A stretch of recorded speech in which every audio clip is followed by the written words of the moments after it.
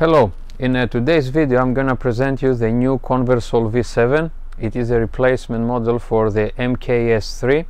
Uh, we have uh, already pre-installed the Conversol inverter in a, in a silent power cabinet. It is an IP65 unit. Uh, what is new in this inverter? It is a high voltage. You can reach 500 volts from uh, the solar panels. The new MPPT charger can uh, operate with 6 kilowatt of uh, solar panels. So that means approximately 100 amps. The previous model was limited to four and a half kilowatts and 80 amps. This model now is uh, more powerful. It has a, a, parallel function built in which is a great feature if you want to expand it. As you can see from the logo here the Wi-Fi monitoring is now integrated. You don't have to buy an extra card to monitor your inverter remotely.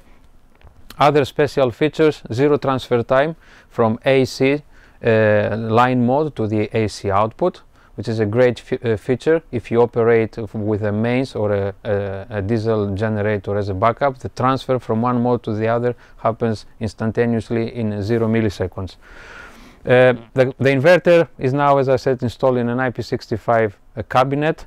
All the inputs and outputs are fully protected with the right devices. You don't need to add any extra hardware except the AC input and the, C and the AC output plugs. So for using uh, uh, a three core cable, you plug this straight to the back. That's the AC output and the AC input. So there is nothing else you have to do except the, um, the mains uh, cables. On this side we have the power uh, coming from the solar panels. We have two strings connected in parallel. Bear in mind there is only one MPPT charger and to increase the capacity and to give more flexibility to the customers we added two parallel strings fully fused here with uh, gave electro fuses. We have our surge protection and the DC isolator.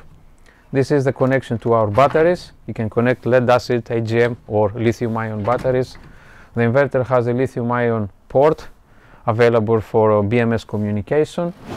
Looking at the AC input for, uh, for a backup, we have uh, fully protected terminals with surge protection, a voltage and frequency regulator, our ABB relay, and a 40 amp MCB.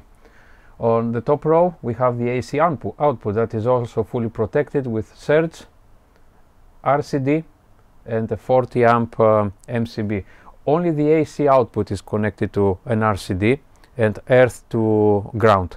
So you have a, a, common neutral to ground connection here and you don't have to put another RCD to the AC input because you might get any might get a kind of conflict. And on the last row on top we have the thermistor with um, uh, the fan control so you can set the temperature according to your uh, environment. If you live in a hot climate and you are expecting high temperatures you can increase the set point from 20 to 30 40 or 50 degrees uh, left and right two uh, powerful fans to enhance the cooling of, uh, of our system. And moving again down there is a shunt resistor from Victron with uh, Bluetooth communication it's a it's a very useful guy, um, gadget because you can monitor the power flow in and out uh, your uh, your energy storage. The silent power cabinets are tested in uh, full uh, operating conditions. We load with solar panels, AC input, and a variety of batteries to the AC to the DC input of the inverter, and they all leave our uh, uh, warehouse fully tested and certified. Thank you very much for watching this video. You can find more information on our website voltaconsolar.com.